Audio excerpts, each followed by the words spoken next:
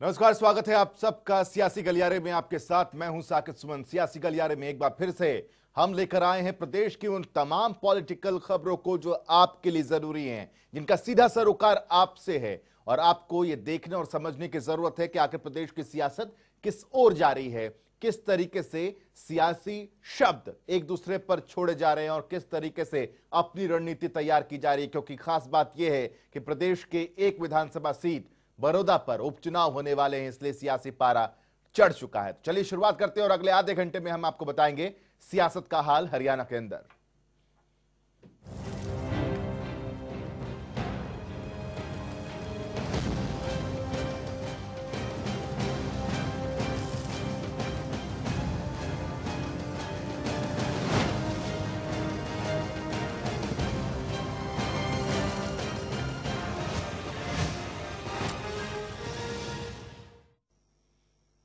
बड़ौदा उपचुनाव को लेकर जल्द ही प्रत्याशियों के नाम सामने आने वाले हैं। कांग्रेस ने 8 अक्टूबर तक आवेदन मांगे थे, जिसके बाद कांग्रेस के पास अब तक 25 आवेदन आए।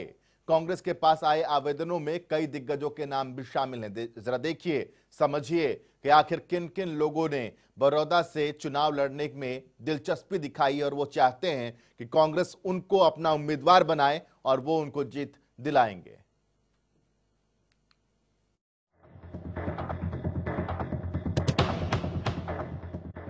बड़ौदा उपचुनाव की घोषणा हो चुकी है। 10 नवंबर को तय हो जाएगा कि इस बार बड़ौदा की जनता किसे अपना प्रतिनिधि चुनती है। कांग्रेस विधायक श्री कृष्ण हुड्डा के निधन के बाद पहली बार बड़ौदा में उपचुनाव होने जा रहा है। बड़ौदा विधानसभा क्षेत्र पूर्व मुख्यमंत्री भूपेन्द्र सिंह हुड्डा का गढ़ माना जाता है। कांग्रेस के श्री कृष्ण हुड्डा यहाँ से लगातार तीन बार विधायक रहे। कांग्रेस के पास 25 के आसपास आवेदन बड़ौदा सीट से उपचुनाव लड़ने के लिए आ चुके हैं। और कई ऐसे नाम हैं, जिस पर कांग्रेस को गहनता से विचार करने की ज़रूरत पड़ेगी। दरअसल कांग्रेस को भेजे आवेदनों में कई बड़े नाम भी हैं। जितेंद्र उर्फ़ जीता हुड्डा ने भेजा आवेदन। श्री कृष्ण हुड्डा के निधन के बाद खाली हुई बड़ौदा सीट पर उपचुनाव के लिए सबसे ज़्यादा इच्छुक और प्रबल दावेदार उन्हीं के बेटे जितेंद्र उर्फ़ जीता हुड्डा हैं। प्रदीप सांगवान ने भी भेजा आवेदन। कांग्रेस को भेजे आवेदनों में पूर्व सांसद स्वर्गीय किशन सिंह सांगवान के बेटे प्रदीप सांगवान का नाम भी शामिल है। हल्के में किशन सिंह सांगवान की अच्छी पकड़ रही है और अब उनके बेटे प्रदीप सांगवान के पूर्व मुख्यमंत्री भूपेन्द्र सिंह हुड्डा के परिवार से अच्छे संबंध हैं और इसीलिए वो भी इस रेस में बाकियों से थोड़ा आगे नज़र आ रहे हैं। पूर्व जिला पार्षद इंदुराज नरवाल ने भेजा आवेदन। सेवानिवृत्त कर्नल रोहित मोर ने भेजा आवेदन। मास्टर जगबीर मलिक ने भी भेजा आवेदन। यही नहीं कांग्रेस के पास 25 से ज़्यादा आवेदन आए हैं। अब बड़ौदा सीट पर अगर कांग्रेस को फतेह हासिल करनी है तो एक ऐसा उम्मीदवार उतारना होगा, जो सभी पार्टियों के उम्मीदवारों पर भारी पड़े, जिसका वर्चस्व बड़ौदा के लोगों को पसंद आए। जनता टीवी के लिए गुहाना से राम सिंह मार की रिपोर्ट।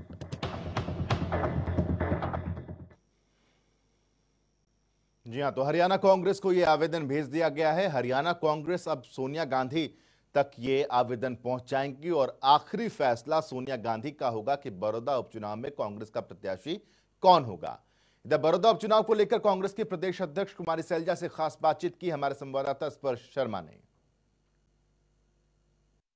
बड़ौदा उपचुनाव का बिगुल बच चुका है। हरियाणा में राहुल गांधी का भी दौरा हो गया और इसी के साथ आज कांग्रेस में आवेदन के लिए अंतिम तारीख भी है। हमारे साथ मौजूद है हरियाणा कांग्रेस की प्रदेश अध्यक्ष कुमारी शैलजा। इनसे बात करते हैं किस तरीके की तैयारी बड़ौदा उपचुनाव के संबंध में कांग्रेस की चल रही है।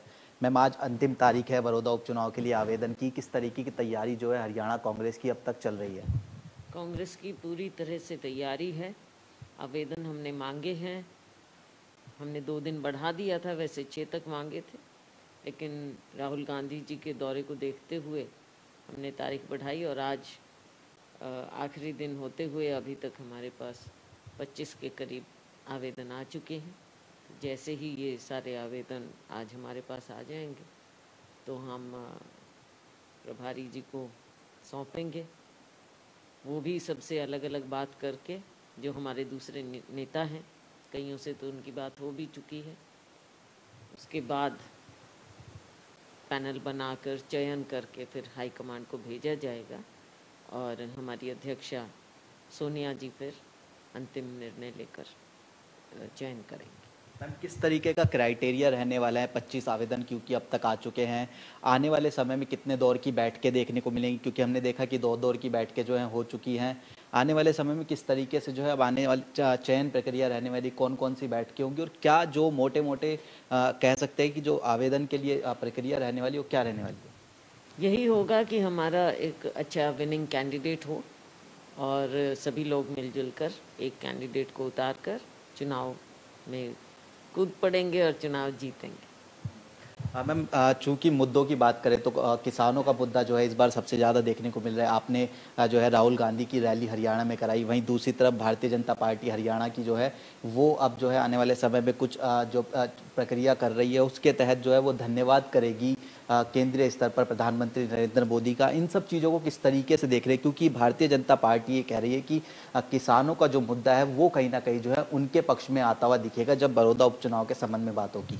बात ये है कि ऑलरेडी बैकफुट पर है, भारतीय जनता पार्टी। जिस तरह से किसान मजदूर आरती इनका विरोध कर रहे हैं, वो असलियत है। राहुल जी ने पहले ही कहा था कि भारतीय जनता पार्टी की जो नीति है, ये बड़े बड़े कुछ पूंजीपति घराने हैं, जिनका फ़ायदा करते हैं। आम किसान मजदूर आरती का कोई फ़ायदा नहीं है। ये जो तीन कानून बनाए हैं इन्होंने ये किसान विरोधी, मजदूर विरोधी आरती विरोधी कानून है। और अगर हमारे जो ये ये लोग हैं, ये समुदाय हैं, अगर ये कमज़ोर पड़ते हैं तो इससे हमारे देश, प्रदेश की अर्थव्यवस्था बिल्कुल ख़त्म हो जाएगी। और जब परसों राहुल गांधी जी हरियाणा में आए, उन्होंने सारी बात बहुत अच्छी तरह से लोगों को समझाई। और लोगों ने इस बात को समझा और उन्होंने बहुत बढ़िया रिस्पांस राहुल गांधी जी को दिया, आपने देखा, दुनिया ने देखा कि कैसे जन सैलाब उमड़ पड़ा। सरकार ने बहुत कोशिश की कि उनका कार्य राहुल जी ना आ सकें, उनकी एंट्री रोकें। पहले कहा कि हम उनको पाँव नहीं रखने देंगे हरियाणा में और उसके बाद कहा कि हम ऐसे नहीं, पाँच लोग आए, कितने लोग आए, वहाँ पे बैरिकेड लगाए, क्या कुछ नहीं किया। इतना ड्रामा किया हरियाणा सरकार ने। क्यों करते हैं इतना ड्रामा मुझे समझ में नहीं आती। बहुत बहुत शुक्रिया। तो ये थे हरियाणा कांग्रेस की अध्यक्ष कुमारी शैलजा, जिन्होंने बड़ौदा उपचुनाव समेत तमाम मुद्दों को लेकर जनता टीवी से खास बातचीत की। कैमरामैन चंचल गुप्ता के साथ स्पर्श शर्मा, जनता टीवी, दिल्ली। जी तो हमलावर नज़र आ रही हैं हरियाणा कांग्रेस की प्रदेश अध्यक्ष और सीधे तौर पर, निशाने पर, हरियाणा की सरकार भी है और केंद्र को भी उन्होंने आड़े हाथों लिया। खैर दत्तोशाम में अनाज मंडियों का दौरा करने के लिए सांसद धर्मवीर सिंह पहुँचे। उन्होंने वहाँ किसानों की परेशानी को सुना और अधिकारियों को जल्द समाधान के निर्देश भी दिए। साथ ही उन्होंने कहा कि सरकार किसानों की फ़सल का एक एक दाना खरीदेगी।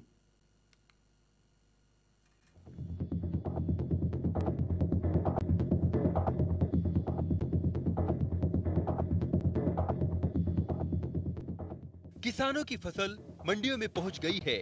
खरीद प्रदेश में जारी है।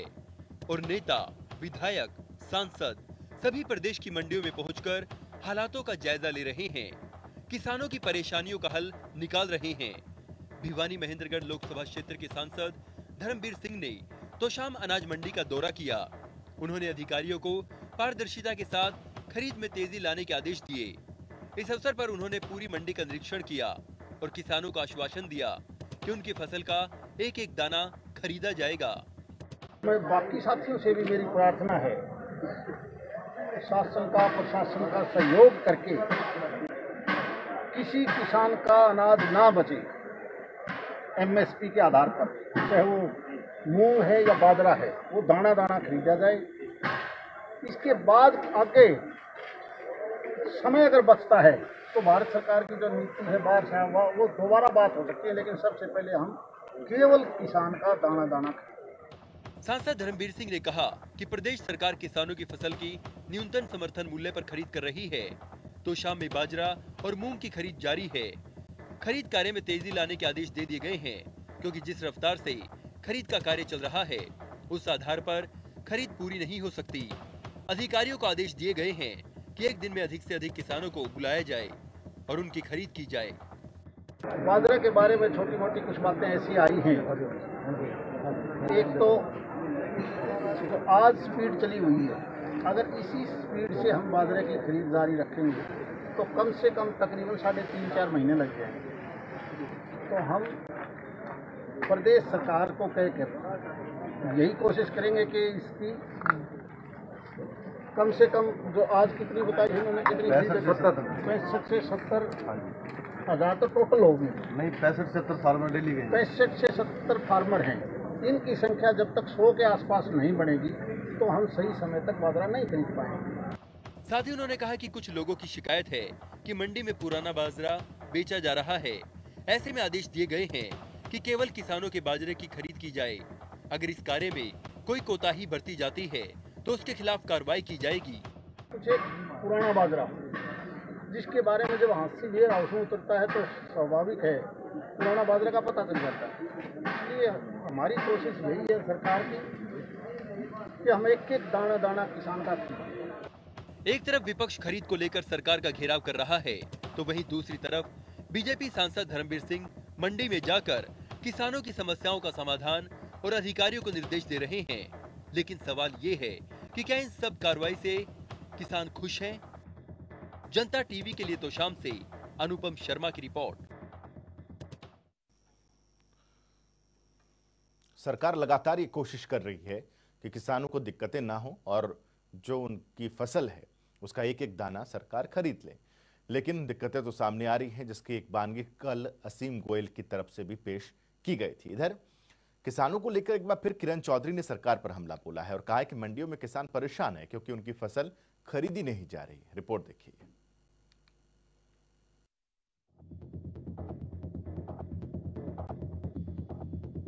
किसान और किसानों पर हो रही राजनीति कम होने का नाम नहीं ले रही। विपक्ष सरकार को घेर रहा है तो सरकार विपक्ष को किसानों के विरोध का जिम्मेदार ठहरा रहा है। इन सभी के बीच कांग्रेस नेता किरण चौधरी ने प्रदेश सरकार को किसानों के मुद्दे पर एक बार फिर कटघरे में खड़ा कर दिया। किरण चौधरी का कहना है कि हरियाणा में आज किसान परेशान है। मंडियों में धान बिक्री हुई है, लेकिन कोई खरीदार नहीं है। हरियाणा के अंदर आज किसान परेशान है। उसकी मंडियों के अंदर हमने देखा किस तरह से धान बिक्री हुई है और उसकी जो है खरीदारी नहीं हो रही है अर्थव्यवस्था बुरी तरह से फैली हुई है। वहीं किरण चौधरी ने कहा कि सरकार किसानों की नहीं सुन रही है और अगर कांग्रेस किसानों की परेशानी को उठाती है तो कह दिया जाता है कि कांग्रेस राजनीति कर रही है।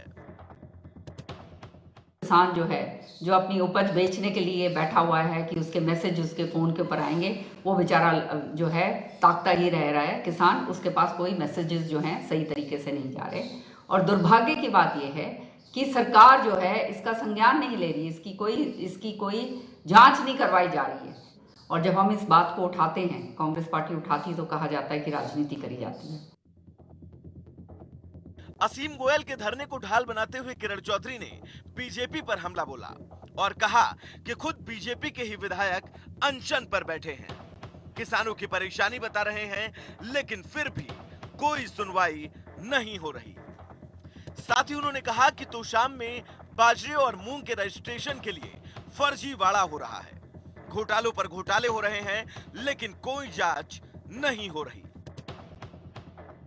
आज इन्हीं का एक विधायक, बीजेपी का विधायक जो है, वो अनशन पे बैठा हुआ है और सरकार को उसका आईना दिखा रहा है। लेकिन सरकार उसकी भी पूरी तरह से सुनी, अनसुनी जो है, उसकी कर रही है। ऐसा पहली बार नहीं है जब किसानों के मुद्दे पर सरकार और विपक्ष आमने सामने हो। राजनीति के हर पहलू पर किसानों को ढाल बनाकर हमेशा सत्ताधारी पक्ष और विपक्ष एक दूसरे पर हमलावर रहते हैं। लेकिन अन्नदाताओं पर राजनीति और किसानों का मज़ाक किस हद तक सही है, इस पर चर्चा होना शायद बेहद ज़रूरी है। जनता टीवी के लिए दिल्ली से स्पर्श शर्मा की रिपोर्ट।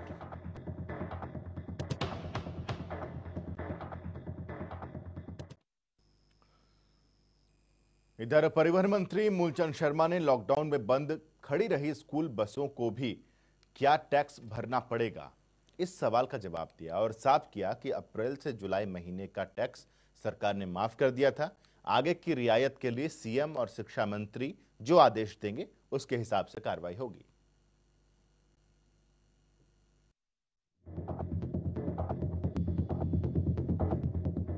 पंद्रह अक्टूबर से हरियाणा में कक्षा छठी से लेकर बारहवीं तक के स्कूल खुल जाएँगे।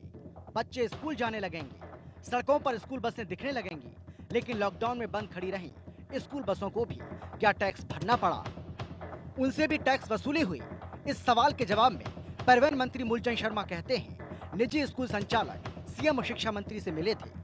सीएम के निर्देश पर हमने लॉकडाउन की शुरुआत में अप्रैल से जुलाई महीने तक का स्कूल बसों का टैक्स चार महीने के लिए माफ़ किया था। जुलाई के बाद दो महीने जिनमें टैक्स लिया गया है, उस पर स्कूल संचालक, सीएम शिक्षा मंत्री से बात करें। अगर कोई रियायत देने का आश्वासन सीएम देंगे तो उस पर काम ज़रूर किया जाएगा। मुख्यमंत्री से ये सभी प्राइवेटाइजेशन के लोग, शिक्षा मंत्री से कंवरपाल गुजर जी से और मुख्यमंत्री जी से मुलाकातें करी थी। और जो उन्होंने कहा था भी स्कूलों की जो बस खड़ी हैं, और जो आज स्कूल ही बंद है, स्कूल बसें भी खड़ी हैं। और जो मेरे पास शिक्षा मंत्री के थ्रू मुख्यमंत्री से आया था, हमने जुलाई तक उसको टैक्स को माफ़ करा। और उन्होंने दो उसमें था दो महीने का, तीन महीने का, जो भी उन्होंने भेजा वो टैक्स हमने माफ़ करा। अब बात ये है कि भाई जो दो महीने की जुलाई की अगस्त की बात कर रहे हैं अगस्त सितंबर की। तो जो भी है जो मुख्यमंत्री से बात करेंगे जो भी इसका रास्ता निकलेगा शिक्षा मंत्री जो लिख के देंगे और प्रदेश के मुख्यमंत्री जिससे बात करके जो दिशा होगी सरकार की वो कर। मूलचंद शर्मा साथ ही कहते हैं कि अनलॉक तो हो गया है पर अभी भी पाँच राज्यों में परिवहन की बसें नहीं जा रही हैं। बसें चलाने को लेकर दिल्ली सरकार पर बोलते हुए मूलचंद शर्मा ने कहा कि दिल्ली में आम आदमी हज़ार रुपए की गाड़ी करके जा सकता है लेकिन बीस रुपए की टिकट लेकर रोडवेज़ से नहीं जाने दिया जा रहा है। ये दिल्ली सरकार की छोटी सोच है। दिल्ली सरकार का हाल वो गरीबों की बात गरीबों की बात करती है। गरीब आदमी को अगर हरियाणा में आना है हरियाणा में गाड़ी तो लेके जा सकता है प्राइवेट। हरियाणा रोडवेज़ की बस जाती है उससे परेशानी है। बीस रुपए की बीस रुपए दिल्ली में आ जा सकता है। तो दिल्ली की वजह से काफ़ी तकनीकी नहीं दिल्ली के पूरा हरियाणा दिल्ली के आसपास है और दिल्ली के सारा हरियाणा लगा हुआ है। दिल्ली के लोग हरियाणा से संबंध है। हमारे रोटी बेटी का संबंध है आपस में। रोज सुबह लोग बाज़ार मार्केटिंग करते हैं। एक व्यापारी हज़ार रुपए खर्च कर रहा है।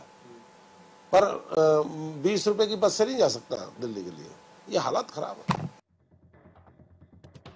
वह राजस्व पर बात करते हुए परिवहन मंत्री कहते हैं कि खनन विभाग में 2019-20 में 333 करोड़ रुपए का राजस्व प्राप्त हुआ।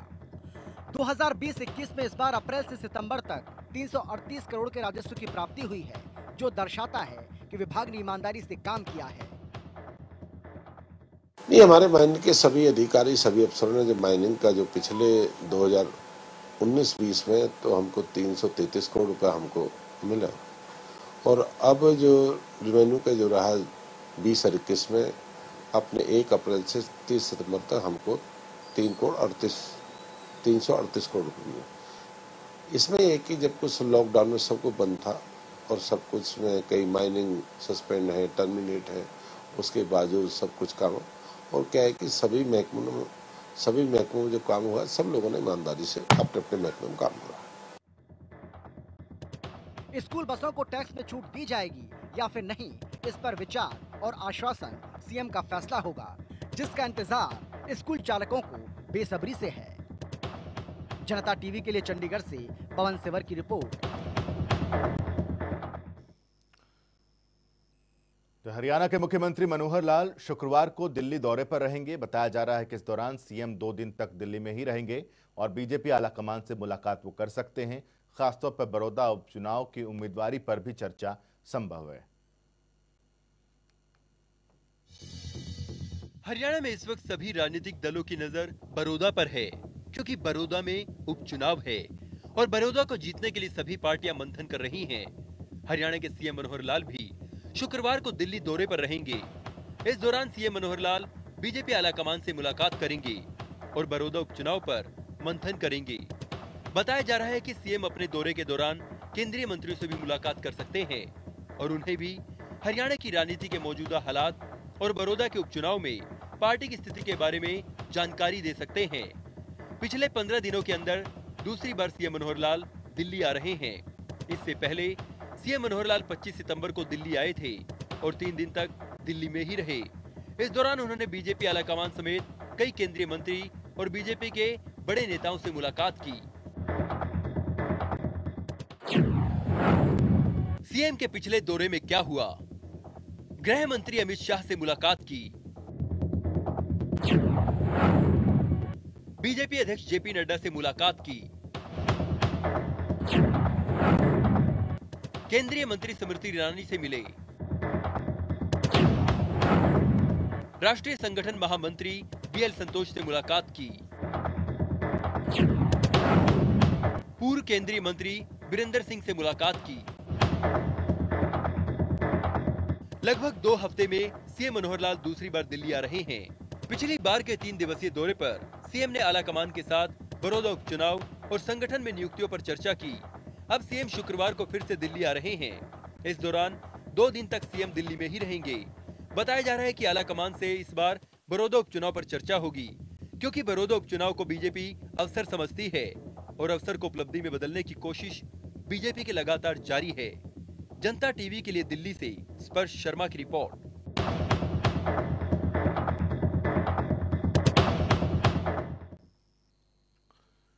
इधर गोहाना से कांग्रेस के विधायक जगबीर मलिक ने बड़ौदा उपचुनाव और बड़ौदा के विकास को लेकर बीजेपी को आड़े हाथों लिया।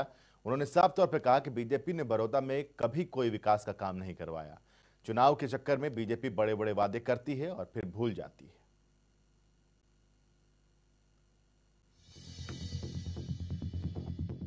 तीन नवंबर को बड़ौदा उपचुनाव होने हैं और सियासी पारा सातवें आसमान पर है।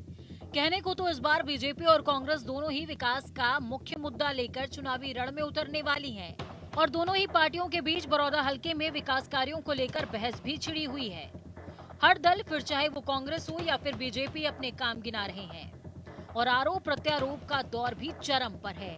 तो वहीं गोहाना से कांग्रेस के विधायक जगबीर मलिक ने बीजेपी पर निशाना साधा। मलिक ने आरोप लगाया कि श्री किशन हुड्डा से विधानसभा में विकास कार्य नहीं करवाने को लेकर सवाल किए गए थे, लेकिन बीजेपी की सरकार ने बड़ौदा में कोई विकास काम ही नहीं करवाए। यहाँ तक कि टूटी सड़कों पर टाके भी नहीं लगवा पाए। अब उपचुनाव आ गया तो इस तरह की बातें कर रहे हैं। चुनावी स्टेटमेंट का है क्या? कुछ भी नहीं, जिनके पास कुछ नहीं हुआ ऐसे झूठ बोलते भाई। बताओ, सच्चाई ये तो ये श्री कृष्ण हुड्डा जी के सवाल ना होता, ये बताओ। और ये कहते ना, कुछ नहीं होता, ये सारी सड़कों का, देखो ये कहना हमने सड़कों का पीडब्ल्यूडी का इतना दे दिया मार्केटिंग बोर्ड का इतना दे दिया। पाँच साल में खराब हुई, पाँच साल में, छह साल में एक भी सड़क का ठेकड़ी नहीं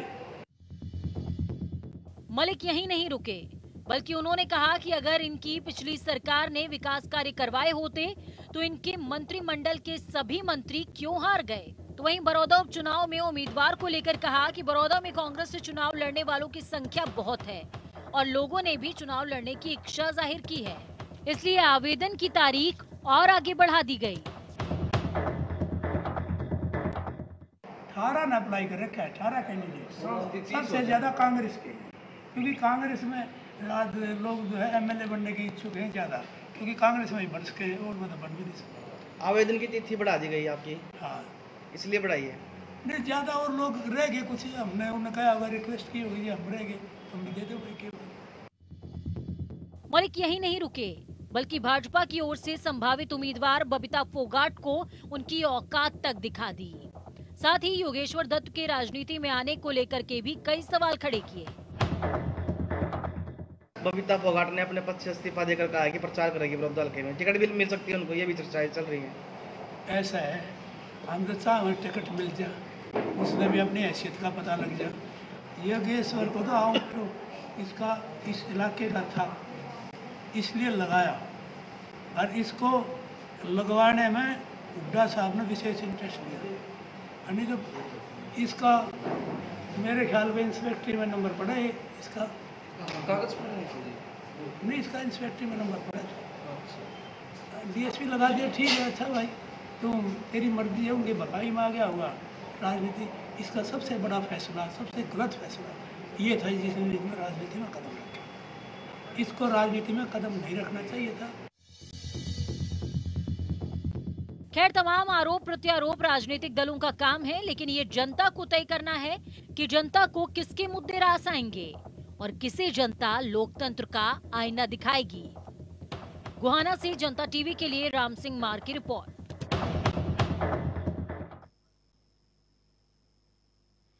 जी हाँ तो ये है सियासी हलचल, ये है पॉलिटिकल अपडेट जिससे हमने आपको कराया रूबरू कि किस तरीके से हरियाणा में राजनीति की गतिविधि आगे बढ़ रही है और इन तमाम गतिविधियों की वजह से आगे आने वाले दिनों में सियासी पारा और ज़्यादा चढ़ने वाला है।